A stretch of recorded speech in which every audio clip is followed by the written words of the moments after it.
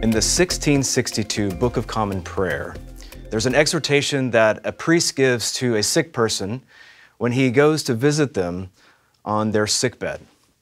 And in that exhortation, it says this Dearly beloved, know this, that Almighty God is the Lord of life and death, and of all things to them pertaining, as youth, strength, health, age, weakness, and sickness.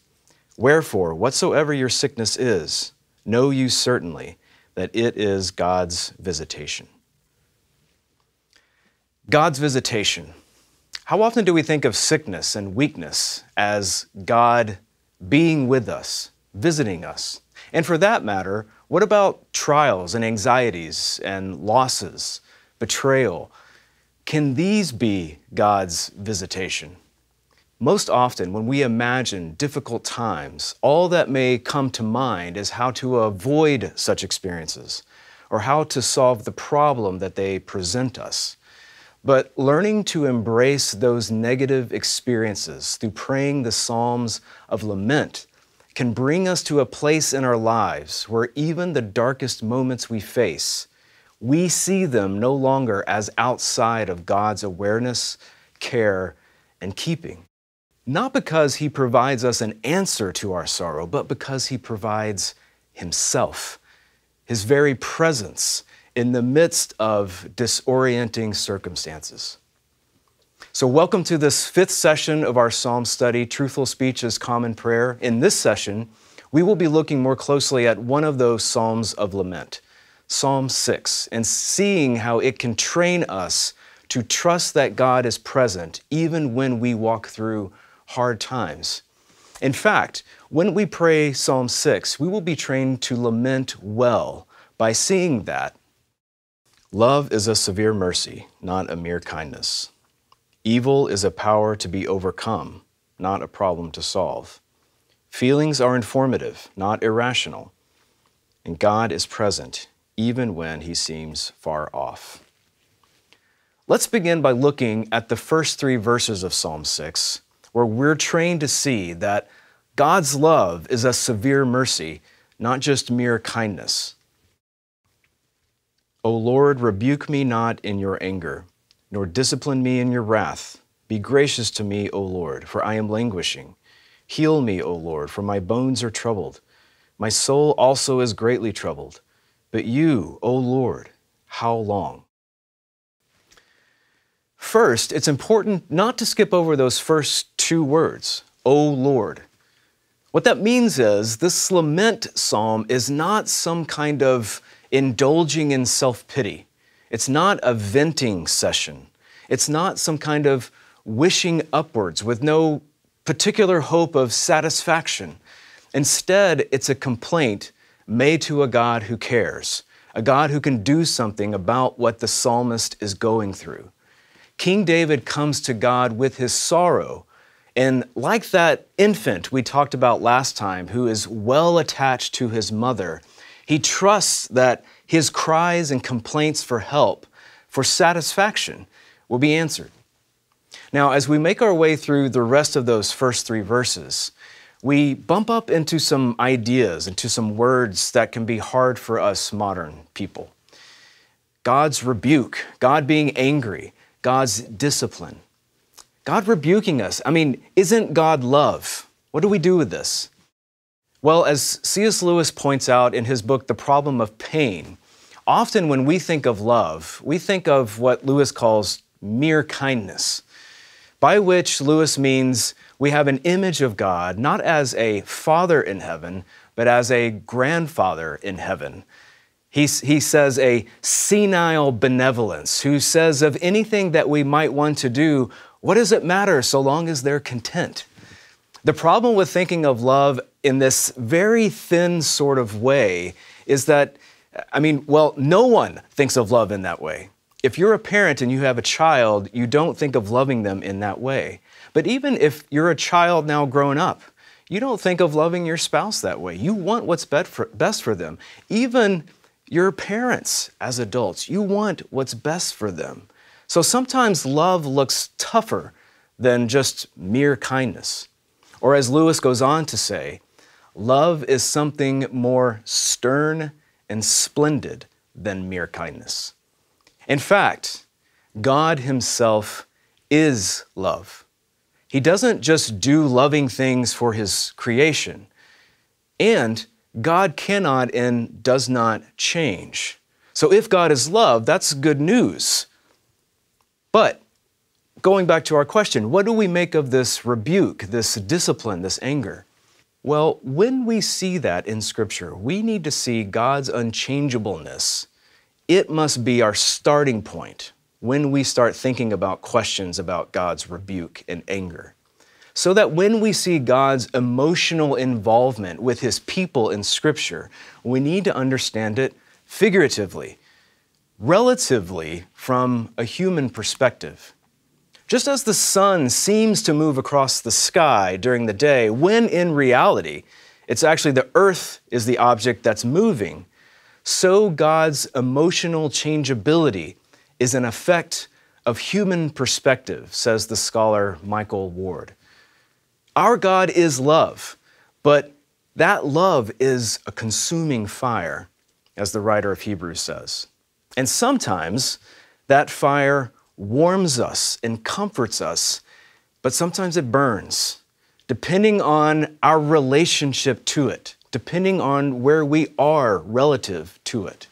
Or to finish with Lewis's words once again if God is love, he is by definition something more than mere kindness. Though he has often rebuked us and condemned us, he has never regarded us with contempt. He has paid the intolerable compliment of loving us in the deepest, most tragic, most inexorable sense. God loves his people too much to be that senile benevolence that we, often like children, think that we want. Just like any good father or mother, God wants what's best for his children. And so sometimes his love shows up like a severe mercy. Now, moving on to verses 4 through 5, we see that Psalm 6 also trains us to lament well by seeing that evil is a power to be overcome, not a problem to be solved. Turn, O Lord, deliver my life. Save me for the sake of your steadfast love. For in death there is no remembrance of you. In Sheol, who will give you praise? Here we turn to this cry for deliverance coming from King David. This is his petition that's often given in a lament psalm. And it's clear that David understands, in the words of one commentator, that he's not just committed some bad actions and done some bad things, or, as it may be the case, because the circumstances of this psalm aren't exactly that clear, it's not just that some bad things have been done to him. Either way, what is clear is that sin and brokenness are a power by which a person or systems are held helplessly in thrall, in the words of Fleming Rutledge. In other words, more information and learning can't help in this realm. Better planning, better strategy and execution don't help when we're in the grip of a power that we have no power over. Only the God who created heaven and earth, the God who has the power to speak life into existence, to raise the dead, this God that is also intimately involved with his people and commits himself to them because that's what he does, because he's love, only he can help. St. Augustine wrestled with the mystery of evil for most of his life. And to him, Evil was irrational. It didn't make sense. It had no internal logic of its own, but it had to steal life from the good that God had created in order to survive. And as Augustine says, before his conversion, he says, I tried to find the source of evil, but I got nowhere. He recounts in his Confessions how he and some of his buddies made a midnight raid on a neighbor's pear orchard and they stole some pears just because, just because they could. He and his friends even ended up throwing the pears to some pigs. The point is, Augustine saw that evil had no end, it had no goal. And as he says of that event in his youth, I became evil for no reason. He didn't steal the pears to satisfy a hunger, even though stealing in that case might have been understandable, though not justifiable, but he stole them just for the heck of it. But once Augustine was converted, once he encountered the God that is as close as his own soul, the God he could trust, a personal God, he saw that evil was less a problem to be solved, like an algebra problem, and instead was a power that had to be defeated.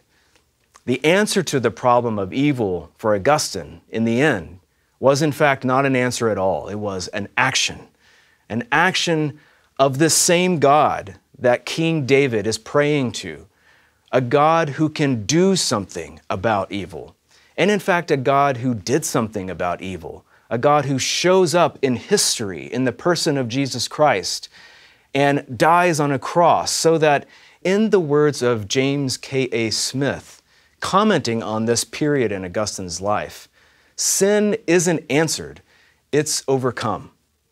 That is what you and I need when we're in a season of lament. Whether we feel sorrow and helplessness because of our own sin and we are repenting, or whether we feel helpless and sorrow because of someone's sin against us or whether we see sin in the world and brokenness and it's too much and it's too overwhelming. We need the power of a personal God found in Jesus Christ, who alone has the power to rescue us from such helpless situations. This God is the one King David is appealing to here. The God who, even before the incarnation, was intimately involved with his people, condescended to save them, and rescue them against enemies and against the evil that emerged in their own hearts. Evil that's too big and powerful just to be answered, and that instead can only be lamented and grieved before God. So that as it is lamented and grieved, a way is prepared to wait for God to rescue. Now, moving on to verses 6 and 7 we see that Psalm 6 teaches us to lament well by revealing how our emotions can be informative, not irrational. The imagery used here in these verses suggests how carefully David pays attention to his emotional state, how he doesn't try to just skip past his sorrow. Let's look at what he says in those verses. I am weary from my moaning. Every night I flood my bed with tears. I drench my couch with my weeping. My eye wastes away because of grief. It grows weak because of all my foes. Fellow Anglican priest and writer Tish Harrison Warren, in an article she wrote on the Psalms a number of months back in Christianity Today, notes how the philosopher Martha Nussbaum calls emotions hot cognitions because they give us information and information that is even true if we take the time to sit with them and hear what they may be saying beneath the surface. David, I think, is doing that here. Night after night, he says, he floods his bed with tears. Now, this is hyperbole, of course, but this figure of speech reveals an insistence in David to sit with his feelings, not to anesthetize them, not to blame others with them, or not even to fight back against his enemies. Instead, he pays attention to what he's feeling, he directs his complaint to God, and he channels his emotions into covenantal shapes, as one commentator calls them, by laying his grief before the Lord, who is the one who has promised to bless and keep him. And when you and I pray these lines, we can be formed to do the same thing. Now, we have to stop here for just a second because I suspect that, like me, you've been trained not to trust your feelings, and for the most part with good reason. But as Pastor Marc Alan Schelske says, our feelings always tell us the truth, just not the truth we think they're telling us. What David is doing here before God by paying attention to his feelings, and I might add, feeling them in God's presence, this is very instructive for us. Because what we see here is he's not in a rush to get past this negative experience. He's able to pay attention to what he deeply wants when he calls out for God's rescue. I want to repeat that. He's able to pay attention to what he most deeply wants when his voice is calling out for God's rescue. He may be calling out for enemies to be routed and turned back, or circumstances to change, but there's a deeper need to discover as he waits in his sorrow, which is not just for a problem to be solved, but it's a presence to be with him that he most wants. Praying these lines in verses 6 and 7, it forces you and me to slow down and to pay attention to our own emotional life. Again, not so we can vent, not so we can just wallow, but so that we can be informed, so that we can lay our entire selves, not only the thoughts of our hearts, but also the depths of our souls, where the cry for God's presence lives and moves and has its being.